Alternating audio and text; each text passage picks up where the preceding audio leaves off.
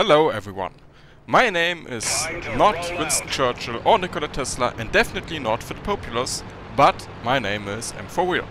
And this is World of Tanks and uh, this is me playing the Centurion 7-1, the tier 9 British medium tank, alongside uh, my good friend Syrian, he, who is playing in his trusty Tortoise. Whether this is a mistake or not, uh, well, we will see how it turns out. Um, we are playing on Erlenberg, or as some, some, or most of you call it, Derpenberg. And uh, that's uh, wait. Uh, yeah, of course I've seen this replay before, and yeah, there it is. Uh, the best player on the enemy team uh, was claimed by Derpenberg and uh, found himself a very, very red grave. Some likely in in in the river in the middle. Erlenberg Assault is a is a kind of weird map. It's it's one of the most hated maps from, for example, uh, Baby and uh, other players, and that's because of the following: you, the river in the middle uh, can only be crossed at three different points. Well, five if you count the the the low um, where you can drive through the water, but uh, on three different places. Yeah, in the in the south where the enemy team spawns, in the middle, and in the north. Otherwise it's completely impassable and cuts the map in half. Usually this leads to um, a very funny situation where you have two lemming trains, one zerging down uh, one side of the river and the other lemming train zerging down the other side of the, of the river in a different direction. Usually the game is then won by the team that can defend good or better than the other team, or by the team who has the better or the faster Zerg. And in this video, which is part of a yeah a two-part series actually, um, about uh, me grinding for the Centurion Action 10, because I really wanted to get uh, to be able to uh, participate in the free premium tank event that Wargaming was holding for the FV422 but yeah, um, so much spoiler, I, I, I didn't participate at all. um, that's basically because uh, I can't do 450,000 damage in two weeks while modding the stream, while doing my day job and while keeping all my other social activities up and running. So uh, yeah, it was kind of a waste this this grind, but yeah, um, well not waste. I, I got rewarded by a by a nice tier 10 British medium tank and if I like the um, the FE422, um, I can still open my wallet and uh, yeah uh, buy it because Wargaming said they will make it available for purchase in the premium shop. For all those of you two viewers who might have problems on this map and who uh, think they can learn something from me, uh, at the end of this video I will uh, talk through uh, the basic tactics and how you, uh, the basic uh, information, where the important spots are and how to counter certain tactics, whatever. How, how you can be a very a valuable asset for your team, basically, hopefully. Yeah. Um. So, it has been nearly one month since I have released the video, and why is that? Hmm. Yeah, um, contrary to uh, another member of the stream, or no, of this of this YouTube channel, um, I have a day job, and that's in, not in any way meant to be an insult towards Phil, uh, but um, yeah, it's just that I am 40 hours a week. Uh, I am gone. I'm somewhere else doing some crazy stuff about energy grids and uh, uh uh, power consumption stuff and whatever.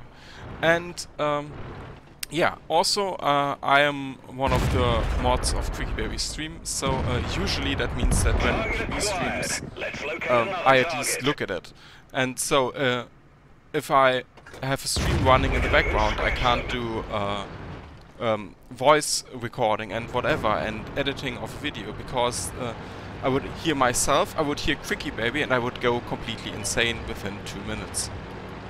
Then, some of you might not believe it, I have a social life. I uh, meet with friends, I go to the cinemas, uh, fancy restaurants, bars, whatever.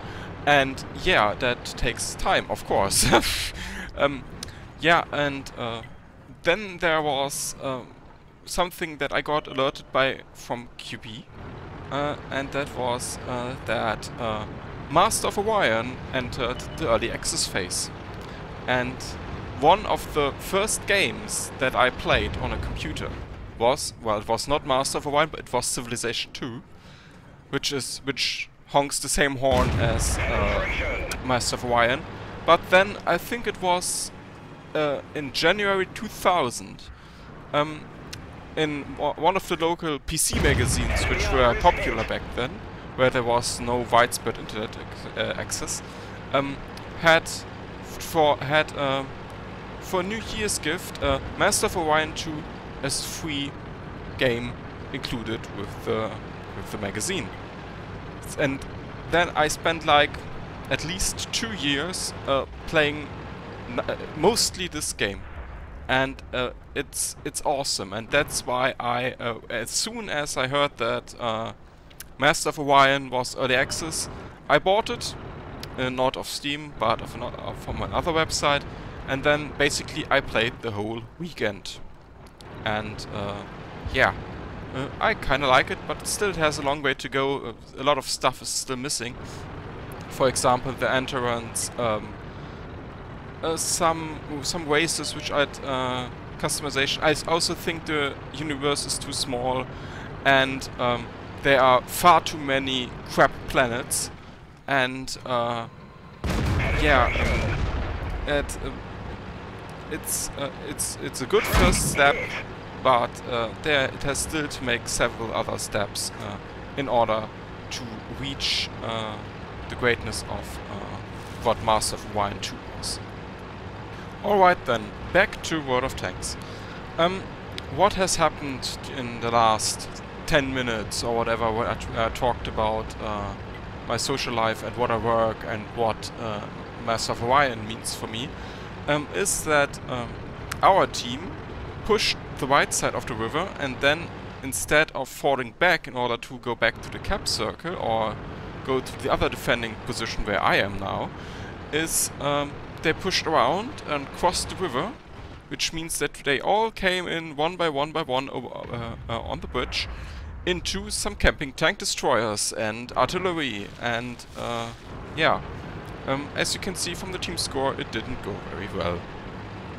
Um, also, you can see now uh, what our FCM50T is doing. He thinks uh, the most important asset of our team right now is our artillery piece, so he goes protecting that which means that we are now uh, basically two people left uh, to defend. Yay. Thankfully, this is an encounter match, and an encounter match uh, has uh, a 10 minute time limit. And there are no draws. If the attacking team can't cap or kill all enemy tanks, they lose. So, um, right now it's all about delaying the enemy advance. Um, as you can see from the map and from the last known enemy positions, got them Artie, um, they are all on the left side of the uh, of the map and yeah, um, if you can delay them long enough, they won't have any chance to cap. So they have to uh, kill every single one of us. And um, luckily the FCM hides in the top right corner and he has a lot of health. So I'm quite confident then that uh, we can win this match if we can hold him off for long enough. And there's the next one, T-34. I shoot him and um, yeah, sadly he bought T-35 with him as well. But uh, shooting him means he pulls back for a second and thus slowing his advance. Also, right about now I realized that I am on the wrong ridge. I needed to go uh, to these bushes back there to have a ridge which actually protects me. So I get shot up by all of them. And there is the good accuracy of the British tanks.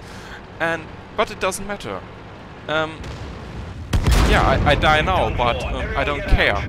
Because um, while uh, we lost the other artillery piece and now we only have two people camping uh, the very far, far right of the map, um, they can't die in four 0.32 seconds. So, we won. Yay! Great success. Yeah, here are the post-game stats. we got shot up pretty badly here, but still, we won. That's World of Tanks for you in a nutshell. Um, that's how winners look like. All that, except for a camping Arty and uh, zero damage FCM50T. Anyway, here's the tactic analysis. I already explained how most battles develop on Erlenberg Assault, so I will just point out uh, important locations on the map. If you attack, expect enemy tanks uh, to defend here and here. Uh, expect enemy scout runs here and here. And um, enemy artillery will usually hide either here, here, even here, or sometimes there. These are important locations if you can manage to support your guys going there so they don't die. Because they will provide vision for all your tanks who are camping at the back. For example, a lot of tank destroyers as you saw in the last game. If you are defending, then uh, your key spots will be here, here and here. That's because there you can provide vision for your teammates, We should provide you with firepower from here. Enemy artillery will usually sit here, here or here. But don't forget that your main objective is uh, to prevent the enemy team from capping or to not die. Uh, and you can uh, prevent the cap from either here or here. Those are very good locations uh, to shoot the cap circle. If you need to run and hide, good locations are here. Just joking. I hope you enjoyed this little tactical review if you if one would like to call it like that. If you enjoyed this video, please consider giving it a like.